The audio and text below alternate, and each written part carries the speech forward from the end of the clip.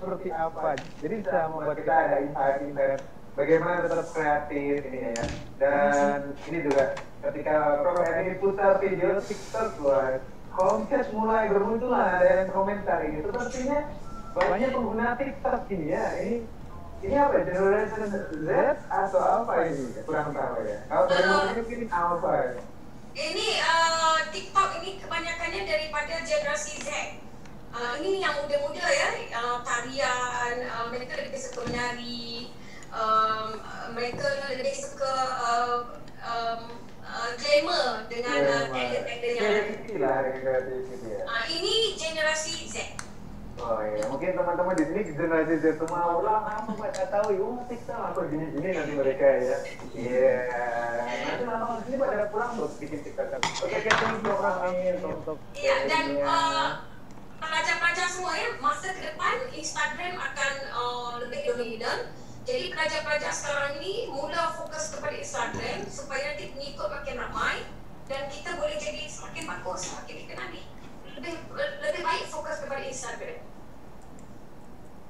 Ya, lebih lebih baik fokus pada Instagram. Tapi ini wah super sekali Pro Emi, sangat menginspiratif ini anak-anaknya sudah sangat terinspiratif.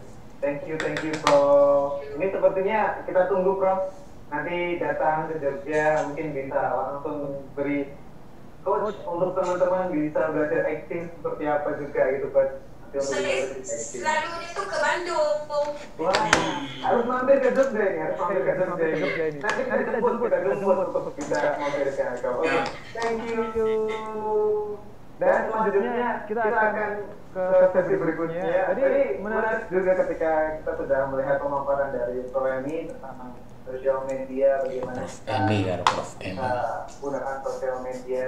Dan juga salah satu saya belajar memaksimalkan sosial media dengan mengambil datanya dan mengolahkannya itu dari Prof. Eman juga ini. Jadi bagaimana kita bisa memaksimalkan gitu ya dan saya terinspirasi juga saya punya kedai kopi itu terinspirasi dari Prof. Eman juga yang punya kedai kopi saya bikin YouTube juga terinspirasi dari Prof. Eman yang YouTube itu sangat totalitas gitu ya kalau teman-teman lihat Instagramnya akan dilihat di uh, testingnya di YouTube itu seperti apa saat ini sedang terjadi gitu ya. Prof. Emma sudah siap Prof? Siap. Interviewnya sangat ditunggu ini J. saya belum mendengar suara oh, sudah mendengar suara Iya. Prof. Emma baik semoga Prof. Uh, silakan Jadi hari ini duo eh, duo Prof ini Prof Emi dan Prof Emma.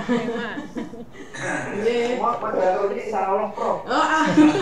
dan Bang Erik. Ah, terima kasih, Prof.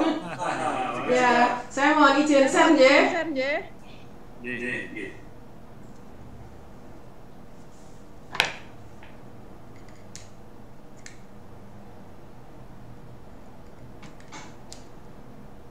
Ya, apakah sudah nampak? Bapak Ibu?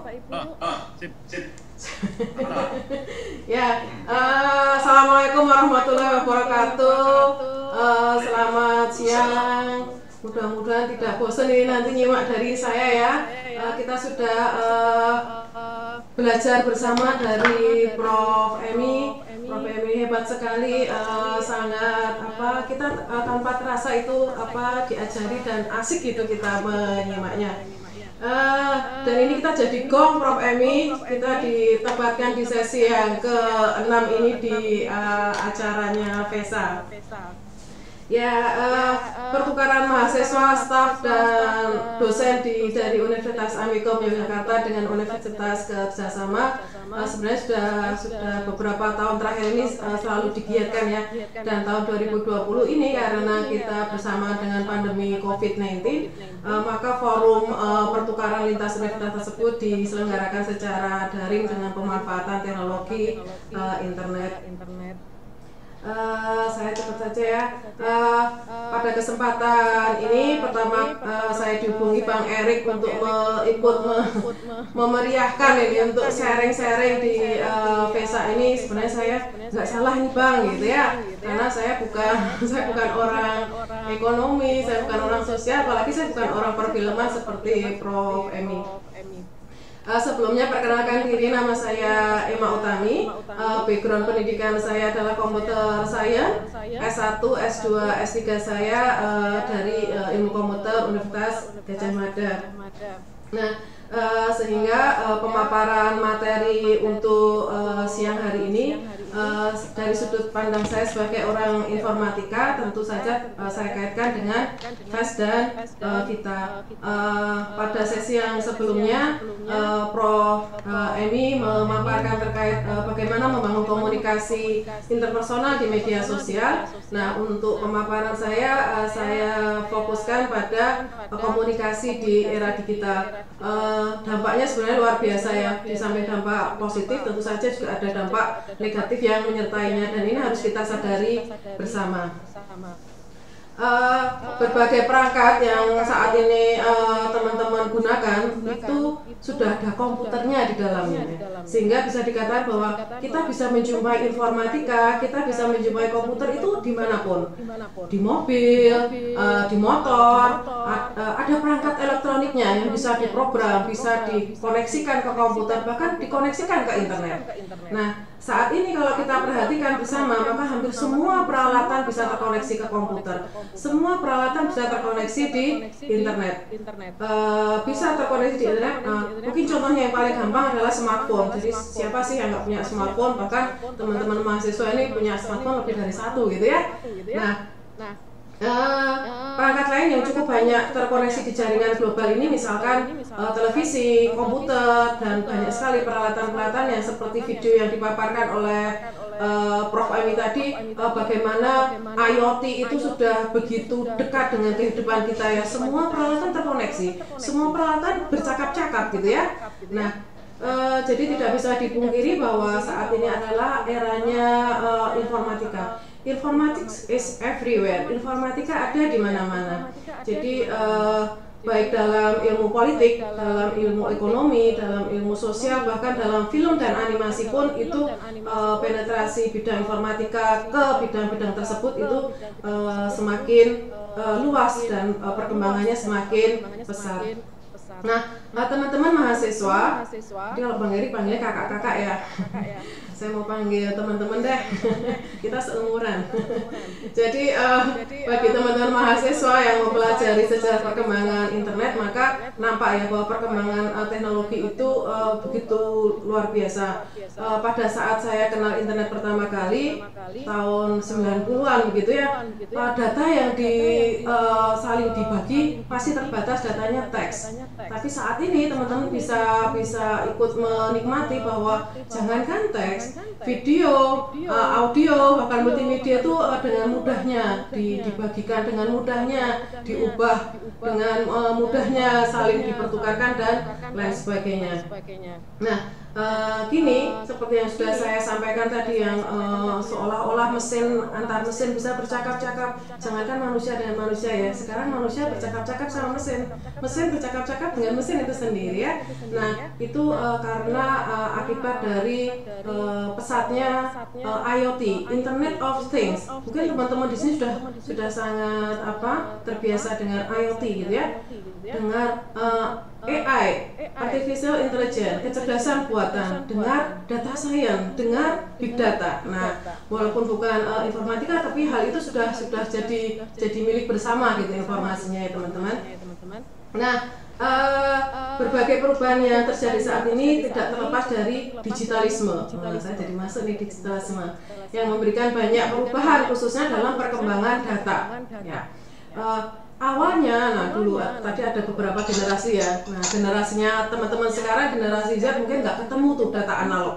Nah generasinya saya Bang Erik Prof Emi nah Prof Satya ini juga nggak ketemu tuh data analog uh, sekarang digantikan dengan data digital. Nah data analog yang seperti apa? Nah teman-teman mahasiswa yang bapak ibunya punya pita kaset gitu ya punya kaset punya piringan hitam digunakan untuk merekam lagu suara gambar. Nah yang tersimpan di dalam apa? Klise film ya. Sekarang kan uh, formatnya adalah tersimpan dalam data uh, digit discrete 0 dan 1 nyimpennya di mana? Sekarang nyimpennya udah nggak pakai kaset nyimpennya udah nggak pakai piringan hitam. Sekarang nyimpennya pakai USB disk misalkan ya jadi kecil itu nyimpennya bisa gede uh, kapasitasnya dan gampang dibawa ke mana-mana Nah, aktivitas yang berbasiskan data digital ini uh, saat ini sangatlah kompleks, jumlahnya sangat besar sehingga uh, diperlukan banyak pengetahuan dan sumber daya untuk uh, mampu mengungkapkan informasi yang terkandung di dalamnya. Seperti yang Prof uh, Emi sampaikan tadi, ternyata Indonesia itu uh, apa termasuk pengguna media sosial yang urutan ke berapa empat gitu. Nah, berarti kita itu kan dengan sukarela mensuplai data ya. Terus datanya buat apa? Datanya mau siapa itu ya Kenapa datanya nggak kita manfaatkan? Untuk apa? Kita bisa melihat prospek pasar misalkan ya. Kita bisa memprofil uh, kalau kita mau jualan ke suatu uh, lokasi, suatu daerah, orang-orang di daerah sana itu sukanya nggak apa ya. Jadi kalau kita jualan nggak mungkin akan salah jual tuh, gitu. Jadi uh, jangan kita uh, pasif mensuplai data. Kita tuh supplier. Jadi seperti yang Prof Emi, Indonesia tuh supplier data loh. Jangan hanya supplier, tapi kita juga harus bisa ngolah datanya. Datanya itu adalah punya kita bersama seharusnya ya. Ya, uh, data yang tersimpan di dalam apa uh, bentuk 0 dan satu tadi mudah diubah, jadi mudah ditambahi, mudah dikurangi, mudah dipindah, mudah disimpan. Oleh karena itu tadi Prof Emi sampaikan hati-hati hei ketika posting gitu ya, karena saat ini postingan kita itu sangat mudah sekali untuk direkayasa ya. Jadi saya selalu memposting yang baik-baik saja karena ternyata Mas Satya mencermati apa yang saya posting. Nanti kalau pas keusilan Mas Satya itu kumat gitu kan saya bisa diapa-apa ya jadi uh, jumlah datanya juga uh, banyak jenisnya juga uh, uh, begitu besar. Jadi uh, everywhere uh, everywhere are digital. jadi semuanya serba digital sekarang ya. Uh, perubahan luar biasa tersebut yang dinamakan jangankan evaluasi eh, evaluasi data tetapi sekarang terjadi revolusi data. jadi data itu sudah sedemikian besar perubahannya ya. si dari sisi sumber datanya dari sisi jenis datanya dari sisi tipe datanya dari sisi jumlah datanya. Nah, revolusi ini uh, apa pendorongnya? Revolusi ini karena kemajuan teknologi internet sebagai pemicunya ya. Jadi jadi jumlah data yang besar, uh, jadi volumenya data, variety-nya besar, velocity-nya besar, itulah yang sekarang yang dimaksud dengan big data. Nah, big data. Sekarang itu kan yang mahal itu data. Orang yang menguasai dunia ini siapa? Orang yang memiliki data dan orang yang punya pengetahuan gimana caranya ngolah data. Jadi kalau cuma punya datanya aja tapi kita nggak tahu caranya ini mau diapakan, ya percuma. Oke. Nah, oleh karena itu kita perlu untuk menambahkan tidak hanya volumenya, tidak hanya variety-nya, tidak hanya velocity-nya yang besar, tetapi apa? Value-nya. Kita gimana cara menambahkan uh, nilai terhadap data-data tersebut.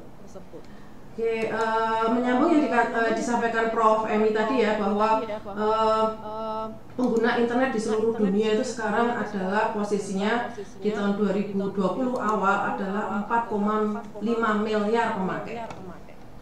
Wah, jadi uh, semuanya semuanya sekarang komunikasinya itu uh, serba digital. Oke, kemudian uh, pertumbuhan pertumbuhan global pengguna internet itu naik naik 7% dari tahun 2019. Nah, uh, uh, Indonesia sendiri pengguna internetnya sebanyak 175,4 juta dengan penetrasi mencapai 64 persen. Jadi kenaikannya dari tahun sebelumnya ke sekarang itu luar biasa banyaknya. Apalagi sekarang di masa pandemi, di masa pandemi COVID-19 ini eh, pengguna berbagai perangkat itu melakukan aktivitas digitalnya semakin meningkat. Aktivitas sekolah, aktivitas bekerja dari rumah itu memicu berbagai kegiatan berbasis uh, data digital seperti yang tertampilkan pada slide uh, di layar. Nah, tadi terkait dengan teknologi IoT seperti yang sudah uh, disampaikan oleh Prof. Emi, uh, ini uh, berperan sangat besar dalam menyumbang semakin cepatnya uh, data digital menjadi big data. Jadi ada 7 miliar perangkat IoT itu uh, bersama-sama 17 miliar perangkat yang lain itu terkoneksi di jaringan internet. Jadi teman-teman itu bisa membayangkan lalu lintas data di atas langit sana itu sedemikian hebatnya, uh, sehingga berbagai aktivitas digital itu mendorong lahirnya studi analisis berbasis data digital. Oke, eh, teman-teman, berikut ini adalah cuplikan film. Film ini tahun 2014, 6 tahun yang lalu, mengenai berbagai aktivitas manusia yang teman-teman lihat nanti akan lalu lintas data digital yang menyertainya luar biasa banyak.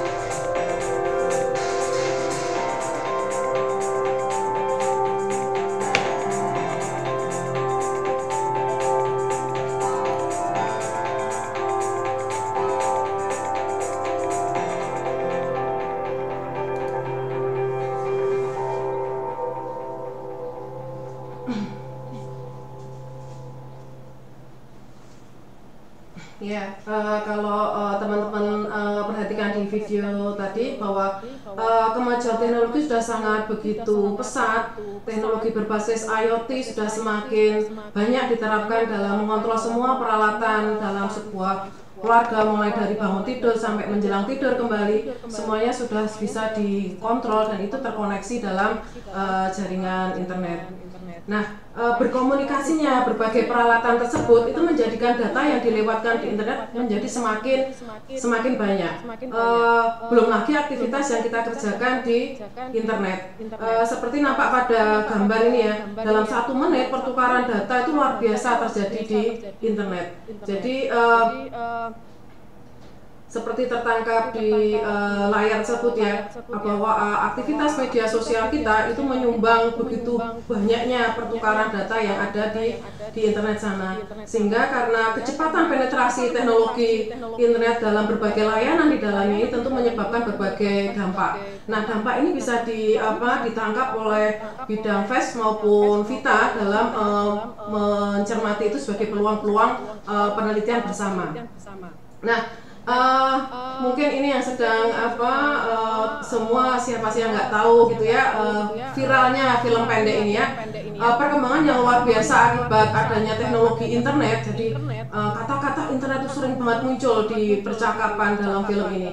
Membawa konsekuensi tersendiri. Salah satunya adalah perilaku uh, perubahan perilaku.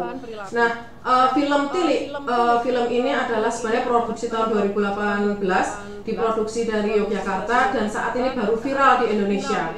Nah, ini merekam perubahan perilaku di masyarakat umum yang dipengaruhi dengan adanya teknologi uh, internet. Kita bisa lihat bersama ya. Informasi kuwi yang benar, ayen kleru. Kuning. Iya, jenenge internet iki gaweane wong pinter. Ora bakal kleru to, yo. Ngono bae.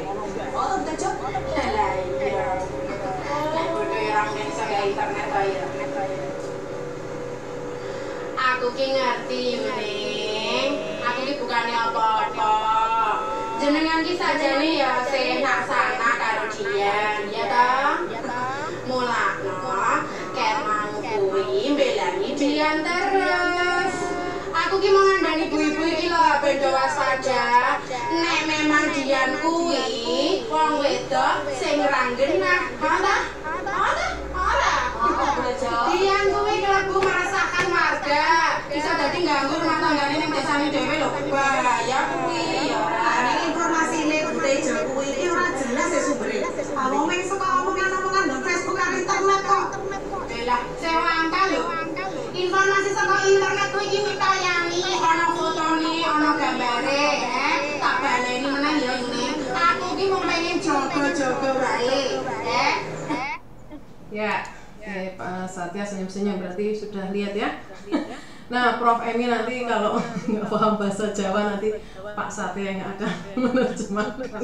Oke, uh, di sini nih uh, ibu-ibu pada apa uh, ngobrolin gitu ya banyak sekali kata-kata Facebook, internet itu yang uh, mereka jadikan bahan pembicaraan dan uh, memang ini realita di masyarakat kita seperti itu ya untuk kehidupan sehari-hari uh, bisa memberikan banyak sudut pandang sebenarnya. Uh, sayangnya uh, mereka me meyakini bahwa semua yang ada di internet apa pun itu itu terutama di Facebook itu bisa dipercaya gitu ya. Nah uh, inilah. Saat sebuah teknologi berkembang pesat maka dipastikan tidak semua orang akan mampu mengikutinya. Nah dari sini muncul uh, berbagai perbedaan tingkat uh, pemahaman berkaitan dengan teknologi khususnya internet. Nah ini teman-teman mahasiswa ini bisa jadi apa ya bisa jadi duta, duta yang mengedukasi bahwa uh, internet yang sehat itu yang seperti apa ini ini teman-teman mahasiswa bisa ngambil peran. uh, sehingga sangat diperlukan kesadaran bagi kita semua bahwa internet itu memiliki banyak pengaruh jangan hanya dilihat apa positifnya saja ya tapi negatifnya itu juga juga harus kita uh, antisipasi. Kita dibutuhkan kemampuan untuk literasi, literasi. Web, literasi internet, literasi digital. Kita tidak hanya terkesan uh, hanya membaca saja, tetapi membaca dalam arti yang luas gitu ya, tersirat maupun yang tersurat gitu ya, bisa melihat, mendengar, bisa merasakan, sehingga kita mempunyai kemampuan untuk mencari informasi yang dibutuhkan dengan memanfaatkan internet secara benar. Nah, problem atau permasalahan ini bisa diangkat loh menjadi penelitian dari berbagai apa kemajuan teknologi khususnya oleh teman-teman yang ada di di FES maupun di kita. Nah, uh, kita nyinggung masalah penelitian sedikit. Uh, penelitian itu tidak bisa terpisahkan dari perkembangan semua ilmu pengetahuan. Berbagai alasan pentingnya dilakukan penelitian cukup banyak ditemui di mesin pencari ya. Uh, orang itu ngapain tuh harus penelitian? Nah, teman-teman mahasiswa nanti tetap harus penelitian ya, khususnya untuk untuk skripsi. Nah, orang nah kalau misalnya udah tua kayak saya ini neliti buat apa gitu ya? Bang Erik itu meneliti buat apa? Bang Satya neliti buat apa? Nah orang itu ternyata kalau ditanya alasan nelitinya itu macam-macam. Yang serius itu adalah untuk pengembangan pengetahuan dan pembelajaran. Nah, tetapi ada loh yang bilang bahwa penelitian itu untuk nutrisi bagi otak. Ya jadi supaya sehat itu kan selalu harus meneliti. Ya uh, sehingga uh, beragam masalah seperti yang ditunjukkan dalam film pendek Tilik tadi sebenarnya bisa menjadi trigger untuk mencari permasalahan lain yang sesuai dengan uh, bidang yang ada di dalam FES dan kita. nah seperti yang Bang Satya tadi sampaikan uh, anak saya kemarin uh, selesai sidang proposal uh, skripsi, dia uh, prodinya adalah hubungan internasional. Jadi bapak ibunya orang informatika, tetapi dia nggak mau ngambil informatika. dia maunya ngambil hubungan internasional. Nah, tetapi karena bapak ibunya orang informatika, jadi banyak hal itu yang uh, kami menambahkan gimana caranya mendapatkan data dari sisi orang informatika, bagaimana pengaruh penggunaan teknologi gitu ya di bidang politik dan lain sebagainya.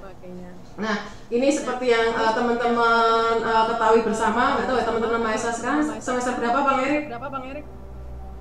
Rata-rata ada yang baru masuk, ada juga yang sedang skripsi. Oke, okay, yang sedang skripsi ya. Oke. Okay. Uh, sebenarnya mikir skripsi itu dari semester 1 ya. Jangan mikir skripsi pas semester 5, semester 6 ya.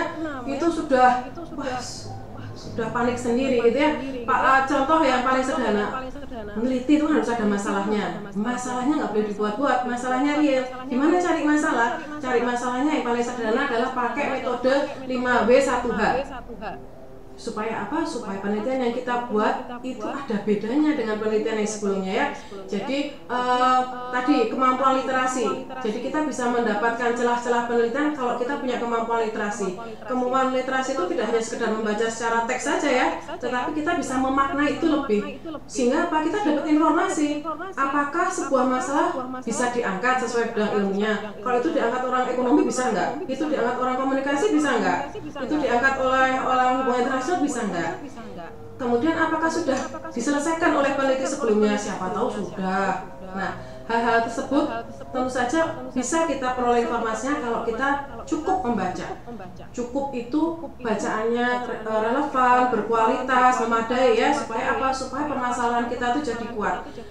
Suatu penelitian itu bangunannya kuat atau tidak tergantung masalahnya itu kuat atau enggak. Ya, jadi tidak masalah yang dicari-cari, tapi memang masalahnya adalah real. Nah, uh, tadi dari tadi saya ngomong data digital ya. Data digital itu gimana caranya mendapatkan sampai menghasilkan uh, informasi yang bermakna? Dan empat tahapan utama. Pertama adalah akuisisi data. yang kedua adalah kurasi dan analisis. yang ketiga adalah penyimpanan. Yang keempat adalah uh, penyajian. nah keempat tahapan ini tentu membutuhkan apa? uh, bidang ilmu masing-masing uh, ya misalkan uh, data yang diambil dari tubuh manusia tentu kita butuh orang dari kedokteran. Kemudian data-data uh, yang diambil dari media sosial kita butuh orang psikologi misalkan. Uh, banyak hal banyak hal yang bisa kita jadi uh, kita kan nggak mungkin sekarang meneliti sendirian ya uh, kita meneliti itu kolaborasi. Seperti uh, sudah saya sampaikan bahwa sekarang teknologi demikian pesatnya uh, kita bisa bisa berkolaborasi kita bisa lintas bidang ilmu Nah, uh, terkait dengan kerjasama maupun kolaborasi lintas bidang ilmu itu uh, sangat membantu ide-ide penelitian. Kalau kita cuma mikirin bidang ilmu kita sendiri mungkin sudah mentok gitu. Tetapi ketika saya ngobrol sama Bang Erik yang orang komunikasi, muncullah ide penelitian saya. Ketika saya ngobrol sama apa Prof Emi yang uh, beliau orang film animasi, muncullah ide saya. Tetapi kalau saya ngobrolnya terus sama orang informatika mungkin bisa jadi idenya nggak begitu nggak begitu banyak yang bisa dieksplorasi. Oke, okay. uh, yang berikutnya uh, terkait dengan STEM ini Bang Eri masih lebih paham ya. Uh, science, teknologi, engineering, matematik. Kalau ditambahi A, jadi ditambahi arts, ditambahi seni, ditambahi sosial, jadinya STEM. Ini ini luar biasa. Ini akan menghasilkan suatu inovasi uh, di dalam suatu penelitian. Nah, sebagai contoh tadi di tahapan akuisisi data ya, eh, data-data yang bersumber dari apa video, suara itu pasti akan membutuhkan teman-teman yang dari Vita. Jadi uh, bagaimana mengamati suara, bagaimana mengamati gambar, bagaimana mengamati video. Ini teman-teman dari Vita itu pasti lebih berkompeten daripada saya misalnya orang informatika. Bagaimana mencirikan suara, bagaimana menghilangkan noise, bagaimana mengkompresi data. Nah ini ini orang informatika bisa bisa berkontribusi. Jadi uh, di tahapan ini kita bisa berkolaborasi antar bidang ilmu. Nah uh, data digital data digital uh, setelah masuk ke internet. Setelah ya, jadi internet. siapa yang nyumbang data digital? Yang nyumbang data digital itu semua kita yang di situ penyumbang data digital. Setelah data digital itu masuk ke internet dan sukses dilakukan akuisisi, sukses diambil oleh orang lain entah lain pemilik datanya sendiri sudah tidak memiliki kontrol. Jadi kalau misalkan Pak Satya bikin caption marah-marah, saya ambil tuh datanya Pak Satya, Pak Satya udah nggak bisa kontrol. Walaupun Pak Satya sudah menghapus caption itu, tetapi itu sudah bisa diambil gitu ya, sudah dibuat. Nah, maka uh, oleh karena itu maka sangat penting untuk bisa mengontrol apa pun yang akan kita up di di dunia dunia persilatan di atas sana ya.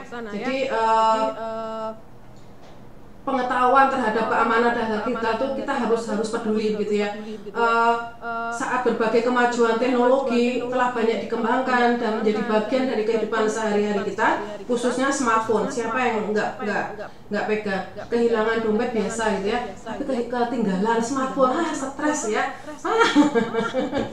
Jadi kayak kita uh, terpisah dari komunitas gitu. Nah, nah Eh, teman-teman uh, harus menyadari ya, menyadari ya bahwa, bahwa smartphone yang kita miliki dengan berbagai aplikasi yang menyertainya terkadang dititipi oleh berbagai uh, kepentingan baik kita sadari maupun tidak.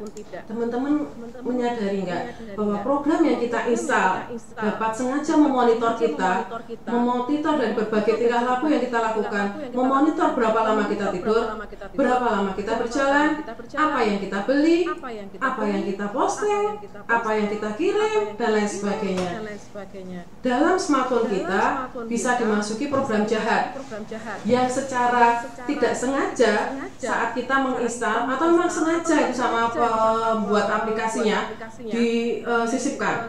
Tujuannya macam-macam ya. Tentu saja apa yang diarah yang diarah adalah mendapatkan informasi yang bersifat pribadi. Nah, oleh karena itu informasi yang bersifat pribadi punya kita itu aset itu akan terus diburu. Gimana caranya? Baik legal maupun nggak legal, tujuannya macam-macam. Nah, oleh karena itu ya, jadi uh, kita perlu menyadari bahwa sadar akan teknologi itu penting. Jadi sebelum kita menggunakan teknologi kita harus sadar dulu akan teknologi itu. Itu jadi salah satu apa jalan agar kita lebih berhati-hati. Yang bisa melindungi diri kita siapa? Ya kita sendiri. Oleh karena itu uh, kita perlu memperhatikan uh, tiga hal ini. Jadi identitas digital kita itu ada tiga layer. Layer pertama saja yang kita bisa ngontrol ya jadi jadi pikir sebelum di post, pikir sebelum desain, pikir sebelum di share. Jadi kita perlu cek lagi opsi privacy dan security yang ada di media kita tuh seperti apa. Nah, uh, sekarang masalah uh, kurasi dan analisis ini tentu saja akan lebih banyak kolaborasi penelitian dalam uh, tahapan ini domain ilmunya bisa banyak.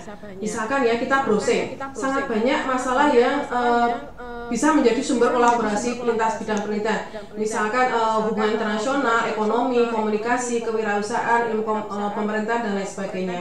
Kerjasama penelitian lintas bidang ilmu sangat diperlukan untuk menghasilkan terobosan-terobosan solusi. Jadi kalau solusinya dari orang informatika saja itu bisa jadi solutifnya sebagian. Tetapi kalau kolaborasi lintas bidang ilmu, solusinya bisa lebih komprehensif. Misalkan nih, tweet dari uh, Presiden Trump. Presiden Trump itu sering sekali menyatakan pendapat. Pendapatnya sering sekali mungkin agak uh, kontraproduktif gitu ya, agak rasis sama macam-macam.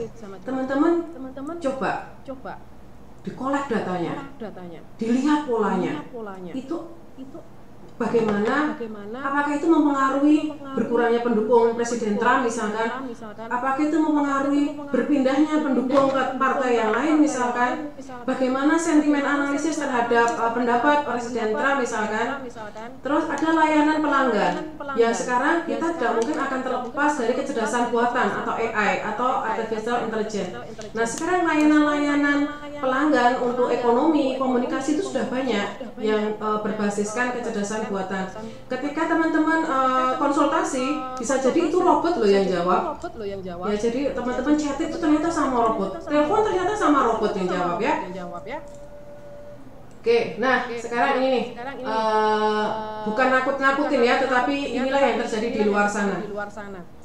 Uh, beberapa waktu yang lalu mungkin ada teman-teman yang mungkin mendengar, mungkin membaca, bahkan iseng-iseng pernah menginstal aplikasi Deep Wah, pernahkah menginstal itu? Nah, aplikasi smartphone ini menggunakan kecerdasan buatan untuk mempelajari dari jutaan foto perempuan telanjang untuk bisa mengubah foto perempuan yang pakai baju jadi nggak pakai baju. Nah, program ini uh, akan bisa menghasilkan hasil yang maksimal dalam tanda kutip jika foto yang diubah itu misalkan pakai bikini atau uh, pakaian ketat dan lain sebagainya. Pertanyaannya, gimana dia bisa menghilangkan uh, baju dari foto tersebut? Karena sistem ini belajar. Karena aplikasi DevNote ini belajar. Belajar. Dari mana? Belajar dari bahan belajar. Bahan belajarnya apa? Kita ternyata yang menyediakan. Orang-orang yang menggunakan. Ya, jadi uh, secara umum terdapat data yang mencukupi untuk si si aplikasi ini untuk belajar. dan di, dari mana datangnya data?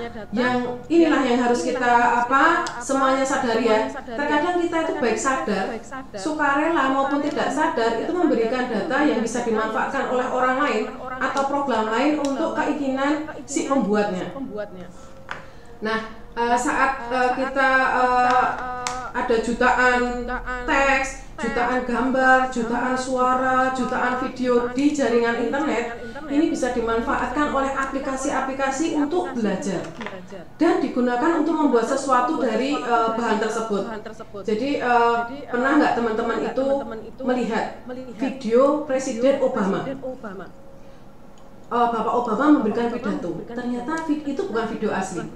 Video itu dibuat dari mana? Dari begitu banyaknya uh, foto Pak Obama, begitu banyaknya video Pak Obama, diperhatikan gesturnya, diperhatikan bagaimana uh, uh, gaya bicaranya dan lain sebagainya. Itu bisa di-create bahan-bahan belajar itu bisa digunakan oleh sistem itu untuk menghasilkan uh, video baru.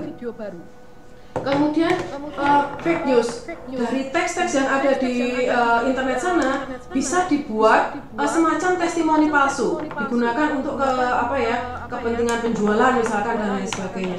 Jadi uh, chat palsu, testimoni palsu, berita palsu, hoax. Nah bisa jadi hoax yang tersebar di dunia maya itu bukan manual dibuat oleh manusia, tetapi apa ada program yang bisa mengkoleksi sekian uh, berita kemudian digunakan untuk memproduksi uh, berita yang berita yang baru.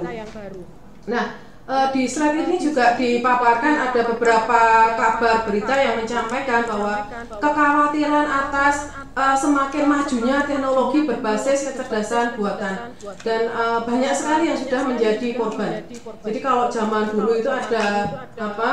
Uh, telepon gitu ya yang mengabarkan uh, saudaranya masuk ke rumah sakit butuh transfusi darah butuh biaya operasi dan lain sebagainya. Nah saat ini ada yang namanya deepfake sound. Jadi bayangin ibu teman-teman itu mendapat telepon di mana suaranya itu adalah suaranya teman-teman. Nah sekarang saat ini sudah marah. Nah itu kan itu itu adalah kecerdasan buatan gitu ya. Jadi sekarang uh, semakin banyak uh, kemajuan kecerdasan buatan di sana, baik untuk sisi positif maupun untuk uh, sisi uh, negatifnya. Yang berikutnya, ah ini ada 419 juta nomor telepon terekspos di Facebook. Nah, nih teman-teman mahasiswa, apakah ada yang mengkoneksikan nomor HP dengan Facebook? Nah ini, ini bahaya ya, jadi mulailah peduli atas apa privacy yang mana yang bisa di share di media sosial, mana yang di keep itu untuk kita sendiri. Bayangin teman-teman, sekarang teman-teman semester 3 gitu ya, lima tahun lagi teman-teman jadi orang besar gitu. Ketika teman-teman sudah jadi orang besar, orang itu akan ngepoin kita. Kita dulu pernah posting apa? Kita dulu pernah nge-like apa gitu ya? Kita dulu pernah marah-marah enggak gitu dan lain sebagainya. Kita pernah ngasih apa? Nah itu hati-hati jejak digital. Jejak digital itu nggak bakal bisa hilang itu permanen itu. Jadi uh, mulailah sekarang untuk uh, apa peduli terhadap uh, diri sendiri ya. Jadi uh, lima tahun lagi jadi orang hebat nih jadi apa uh, anggota dewan misalkan, jadi direktur misalkan. Nah kemudian orang akan ini anak muda kok anu ya hebat gitu. Yang kagum sama kita dengan yang usilin kita itu bisa jadi lebih banyak yang usil sama kita ya ya kita sampai mengingatkan oh saya juga punya ada ada di, di rumah ada ini yang selalu uh, capture foto temannya itu nanti munculnya pas Oh, gitu Oh. aja ya.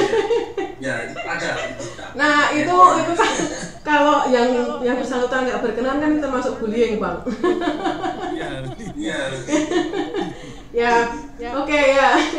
Oke ini terkait dengan Sinta. Nah uh, kalau di Indonesia itu ada Sinta ya. Sinta itu digunakan untuk uh, salah satu rujukan melihat aktivitas penelitian dari dosen. Nah ini teman-teman yang apa uh, pengen apa cari inspirasi ide penelitian bisa lihat di Sinta. Jadi misalnya oh ternyata Pak ini, Bu ini itu sudah pernah meneliti terkait dengan ini. Nah itu bapak eh, teman-teman bisa gandeng nih jadi jadi eh, mentor dari mentor penelitiannya ya.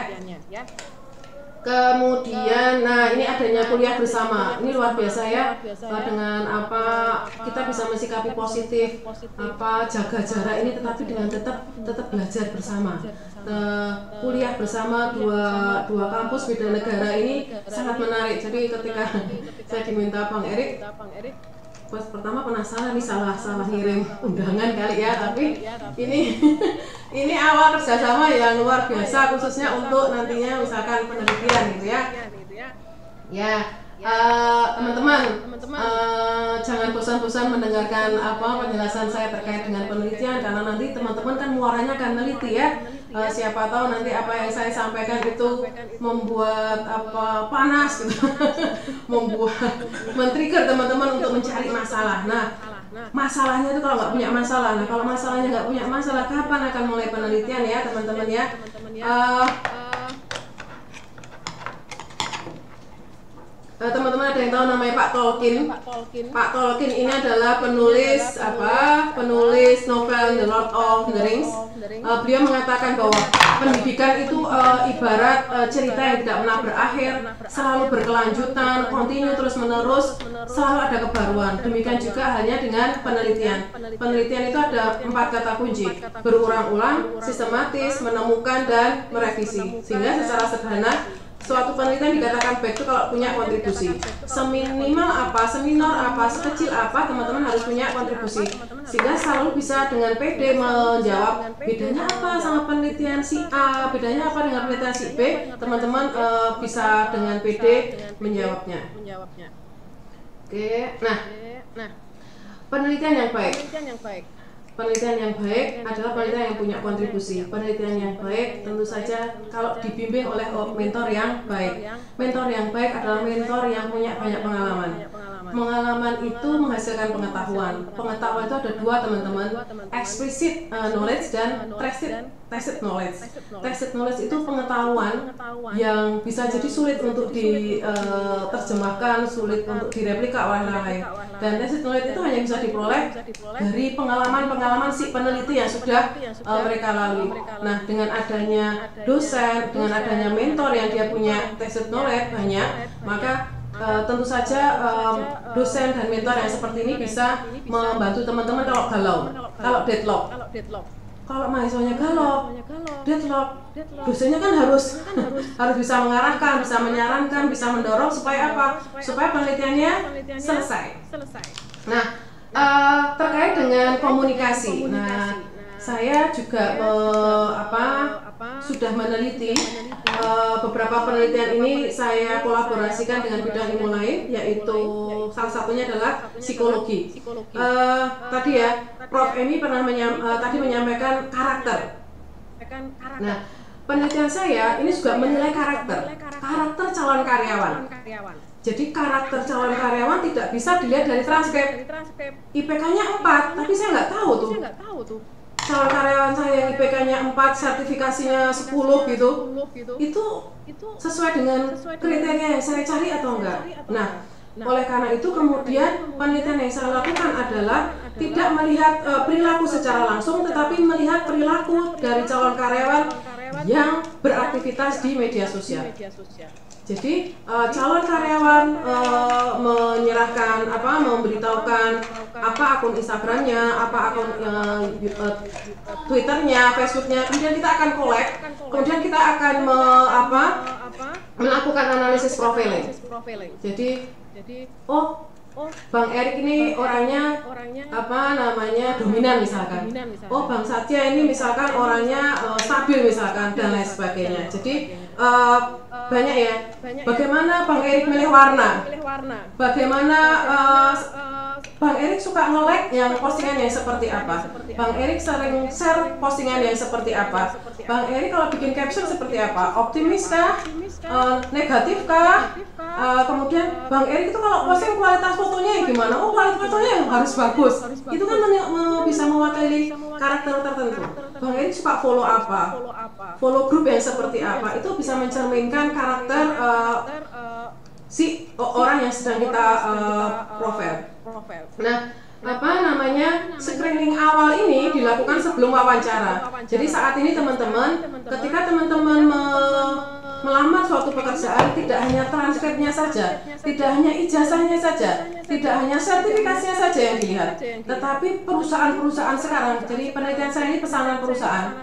Perusahaan ini uh, membutuhkan uh, kami tim peneliti untuk bisa meng, uh, mengolah menelusuri jejak digital dari media sosial masing-masing calon karyawan. Jadi hati-hati ya teman-teman, uh, sudah keren, sudah pinter, tetapi harus harus bijaksana ketika berkomunikasi di media sosial. Nah, penelitian yang saya beri judul analisis profiling berbasis uh, aktivitas media sosial ini merupakan penelitian yang didanai oleh pemerintah Kemenristek Dikti selama tiga tahun. Nah, saya juga men-share ada penelitian. kemarin saya jadi juri di Amita untuk kategori data mining dan uh, AI, uh, artificial intelligence. Salah satu produknya itu menarik menarik. Dan ini dekat dengan orang uh, sosial ekonomi. Deteksi ekspresi wajah untuk mutu pelayanan konsumen. Jadi misalkan di gerai, gerai apa kuliner, di toko buku, di apa namanya tempat layanan publik, itu ada beberapa CCTV. CCTV itu akan nangkep apa uh, wajah dari pengunjung. Ekspresinya seperti apa? Apakah uh, apa muram gitu? Apakah uh, kelihatan uh, senang dan lain sebagainya. Ya ini nanti digunakan sebagai salah satu mutu uh, pelayanan konsumen. Jadi tidak cukup untuk ditanya gimana Bapak Ibu, Mas, Mbak, apakah layanan kami sudah memuaskan. Jadi tidak hanya sebatas kuesioner, tetapi kita lihat sendiri ekspresi. Ekspresi itu kan tidak bisa di ekspresi itu tidak bisa dibohongi. Ya. Jadi saya semangat hari ini nggak mungkin saya ekspresinya pura-pura semangat, tetapi memang ini semangat ya. Jadi ada penanda. Jadi ada penanda di uh, mata, di bibir ya. Itu uh, bagaimana bisa mewakili uh, ekspresi dari uh, si objek. Nah, uh, sekarang kita tidak bisa terlepas dari ini ya. Saat ini kita bertemu secara daring karena ini COVID COVID-19. Nah, isu terkini seperti pandemi COVID-19 ini juga bisa menjadikan perhatian tersendiri untuk menjadi uh, bahan penelitian teman-teman sesuai dengan bidang teman-teman masing-masing. Beberapa penelitian yang telah kami lakukan terkait dengan pandemi COVID-19 ini uh, pertama adalah kodet, yang kedua adalah uh, Digiply. Nah, Kodet ini adalah COVID, uh, COVID uh, detection. Ini merupakan tesis mahasiswa S2 uh, MTI Amikom yang saya bimbing. Uh, tujuan dari penelitian ini adalah mendeteksi COVID-19 dengan meningkatkan kualitas uh, citra ronsen dada. Yang berikutnya adalah Digiply. Digiply itu adalah Smart Digital uh, Content and Ad Player. Ini adalah produk yang akan dibangun oleh tiga mahasiswa S2 MTA Amikom yang saya bimbing. Digiply ini adalah sebagai platform edukasi masyarakat dan pemasaran usaha lokal yang terintegrasi dengan IoT untuk penanganan COVID-19 uh, dengan memanfaatkan LCD dan LED di tempat publik. Nah, Hebatnya lagi, penelitian Digiplay ini mendapat pendanaan dari Konsorsium Riset dan Inovasi untuk percepatan penanganan COVID-19 tahap kedua yang dilaksanakan oleh Kemenristek BRIN sekaligus menjadi satu-satunya universitas swasta di wilayah Yogyakarta dan Jawa Tengah yang lolos mendapatkan dukungan pendanaan. Nah ini tentu saja suatu prestasi bagi uh, kita bersama di Amikom dari 903 proposal yang lolos itu 139 proposal termasuk yang di Giply ini dengan total uh, dana yang diberikan sebesar 27,3 miliar. Nah, Uh, terkait dengan uh, digitalis digitalisme. Oke, okay, uh, kita sebagai mahasiswa, kita sebagai insan kampus itu dituntut untuk mampu membaca, tersirat maupun tersurat. Kita harus bisa melihat, kita harus bisa mendengar, kita harus bisa merasakan, membaca dalam arti yang luas ya, tidak hanya teks, tetapi kita juga harus bisa membaca lingkungan. Termasuk sekarang saya sedang membaca Pak Erik yang sedang gelisah Oke Bang, ini sebentar lagi selesai Bang.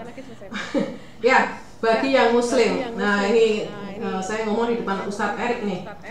Ikro bismillahirrahmanirrahim Bacalah dengan menyebut nama Tuhanmu yang menciptakan. Salah satu metode yang cukup baik untuk meningkatkan kemampuan literasi adalah nulis setelah nulis PD bagi minta Bang Erik untuk membaca. Nah, itu adalah kema uh, meningkatkan kemampuan literasi. Ya. Jadi uh, sebagai dosen di bidang informatika, berbagai permasalahan sering saya jumpai di kehidupan sehari-hari, selalu saya tulis. Uh, Bang Erik sampai hafal. Ada tiga hal penciri tulisan saya Ya. Pertama, saya menggabungkan antara IT, IT karena itu adalah informatika, bidang ilmu saya, society, kemasyarakatan, dan spiritual. Nah, tiga tiga itu yang selalu saya uh, gunakan sebagai penciri tulisan-tulisan saya. Uh, sedapat mungkin segala kegiatan yang saya lakukan. Saya haji, saya wisata, saya umroh, bahkan saya lagi berburu sunset di bukit Merese Lombok itu aja saya nulis artikel. Jadi gini teman-teman, inspirasi itu bisa datang dari mana saja dan kapan saja. Sewaktu-waktu kita nyari inspirasi nggak dapat dapat, begitu kita lagi uh, bengong itu inspirasi datang. Nah oleh karena itu di mana pun teman-teman lagi ngapain aja, uh, bawalah alat tulis. supaya apa? Inspirasi langsung dicatat tuh, supaya nggak menguap gitu ya. Apalagi saya yang sudah yang sudah tua ini ya. Nah jadi uh, sedapat mungkin semua kegiatan, kejadian dan pengalaman yang pernah saya temui saya uh, tulis. Kemudian uh, sebenarnya ajakan menulis ini ajakan dari Bang Erik. Bang Erik itu punya apa? Uh, pengaruh yang luar biasa. Uh, nulis koran itu beda dengan nulis ilmiah ya. Uh, saya pertama kali nulis di koran juga beberapa kali harus apa bolak-balik gitu ya. Uh, nulis di Republika, Tribun, uh, Sindo dan itu sudah jadi dua buku. Dua bukunya adalah saya beri nama Digital Ismi. Ya, Uh, mengapa uh, digital ismi karena uh, seperti yang sudah saya sampaikan di depan tadi saat ini adalah eranya digital. Saat ini adalah eranya informatika. Saat ini uh, informa uh, ini merupakan gimana informatika itu pengetahuan pokok saya selama 27 tahun ini. Dan saya senang sekali ini kok bisa dikasih apa kesempatan ngomong di depan uh, teman-teman uh, FES. Ya Uh, saya selalu mengajak uh, dan mendorong bagi mahasiswa uh, untuk melakukan kolaborasi. Jadi setiap tulisan yang saya uh, tulis itu saya selalu mengajak kolaborasi, saya selalu memberikan ide-ide penelitian. Oke, okay, uh, sebenarnya saya diminta untuk membedah buku digitalisme. Uh, saya sampaikan tiga tulisan aja ya. Oke, okay, uh, Kenapa judulnya saat kaki dan tangan berbicara? Saat ini, saat ini, era saat ini tentu rekaman jejak dari perilaku kita itu mudah sekali terekam dalam bentuk digital ke mana saja, pernah mengunjungi apa, ngelakuin apa, kapan waktunya, itu bisa dengan mudah tersimpan riwayatnya di berbagai aplikasi yang kita gunakan. Saat melakukan pembelian barang, ngupload foto, nge-share foto, ngirim email dan lain sebagainya, itu tercatat data digitalnya. Bagi teman-teman mahasiswa, jangan mudah untuk meng-share foto. Ya, atas nama cinta sekalipun ya jadi uh, mulailah peduli terhadap uh, keamanan uh, diri kita. Beragam catatan digital ini sangat penting, khususnya dalam kaitannya dengan keamanan cyber. Segala aktivitas dalam keseharian memungkinkan terekam dalam bentuk uh, digital dan memungkinkan untuk dilakukan berbagai analisis terhadapnya. Oleh karena itu, kita sekarang nggak usah ngomong. Yang ngomong ya jejak digital kita. Kita mau bilang enggak, enggak, tetapi datanya bilangnya lain kecuali memang data itu adalah data fake di mana videonya video palsu, tulisannya tulisan palsu, fotonya foto palsu. Yang uh, berikutnya adalah perubahan adalah sebuah kepastian.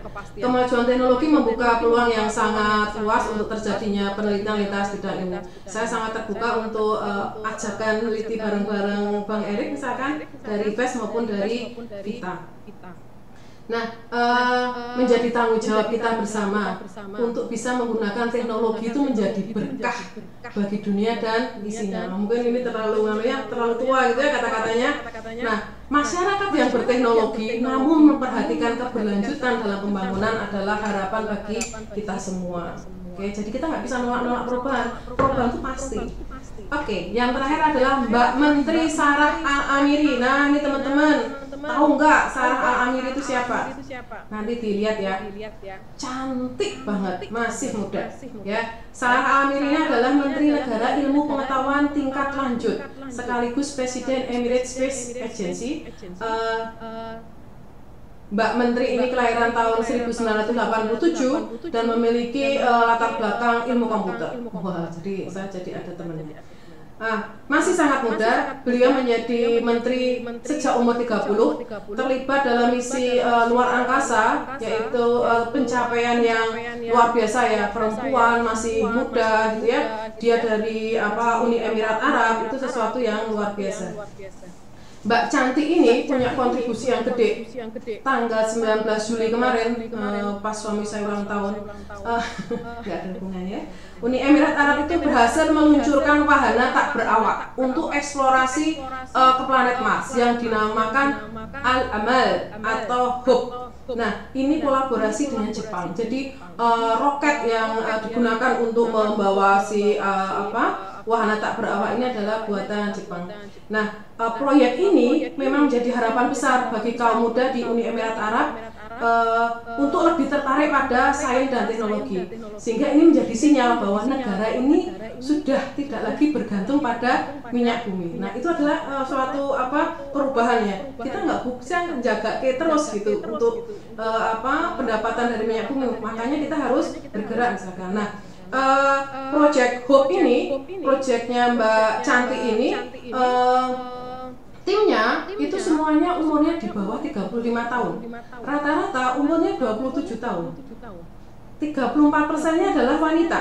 Nah, seluruh bangsa Uni Emirat Arab itu punya apa ya menaruh kepercayaan pada anak mudanya karena penduduknya memang mayoritas di atas 50% itu anak muda.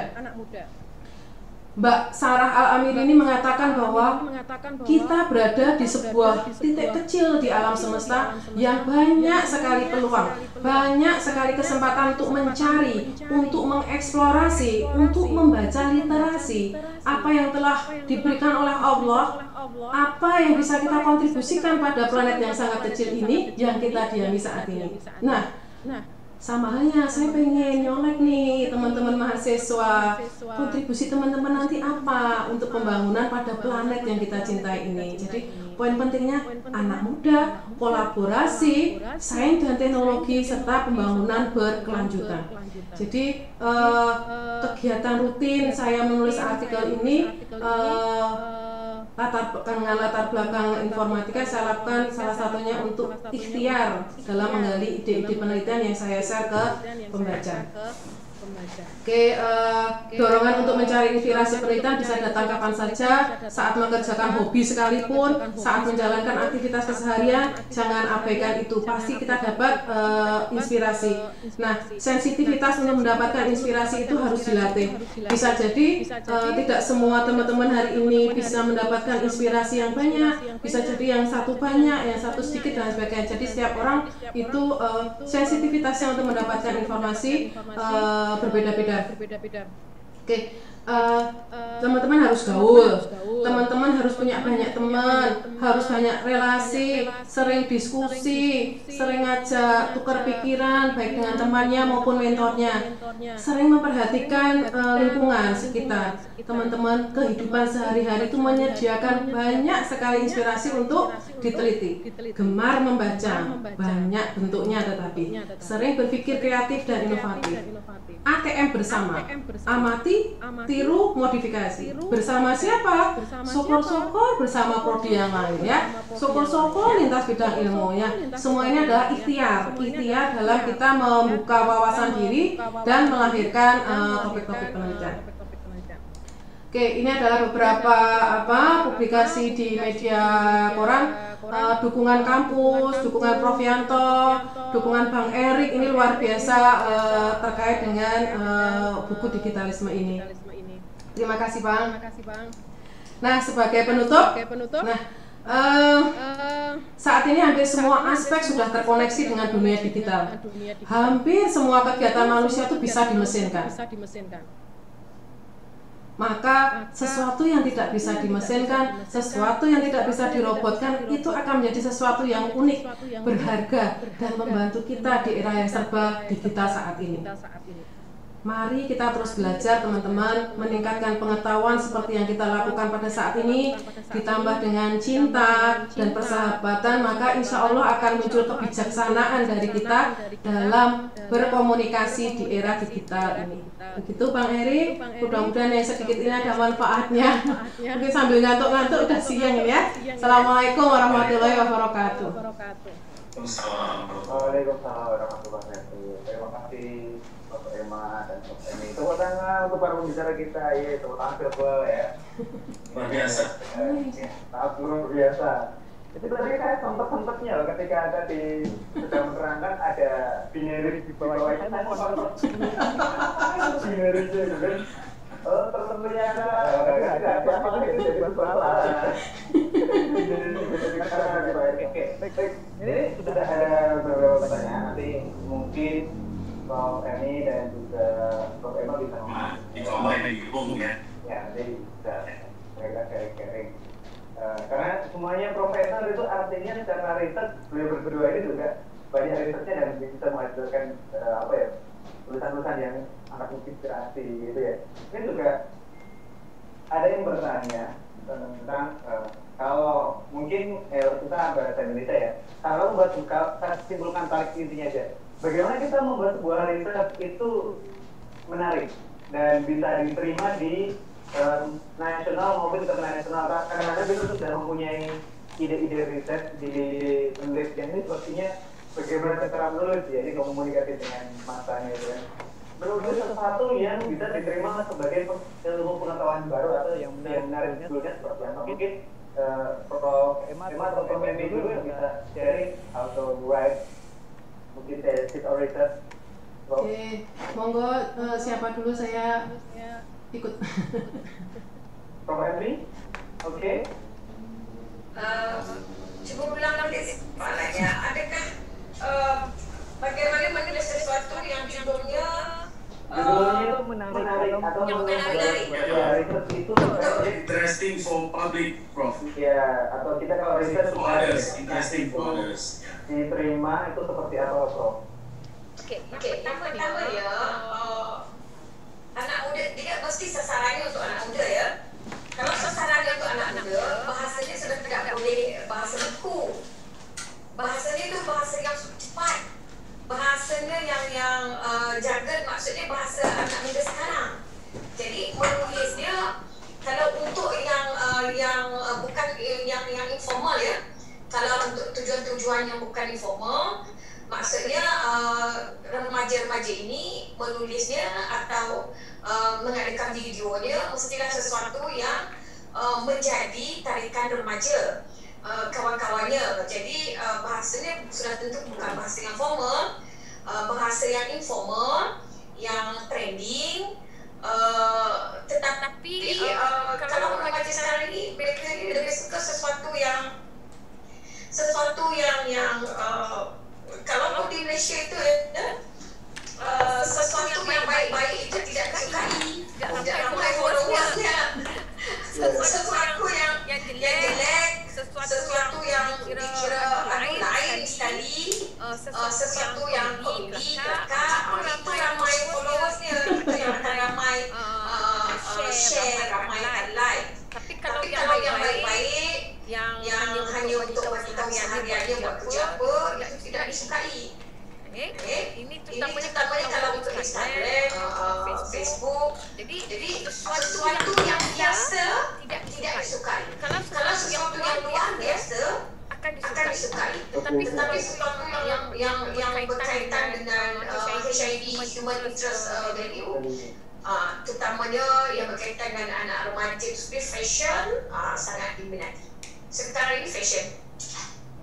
Oke, okay, berarti kita harus uh, mencari sesuatu yang diminati, kemudian kita menyesuaikan dengan audiensnya ya. Oke, okay. terima kasih Prof. Emi. Mungkin Prof. Emma bisa menambahi ya. membuat tulisan yang menarik seperti apa, Prof? Oke, okay, pertama dari judul. Judulnya harus menarik. Kalau judulnya menarik, berarti nanti akan mendatangkan gairah ingin dibaca gitu ya. Jadi kalau ya, judulnya aja udah nggak menarik, gimana mau berharap itu dibaca?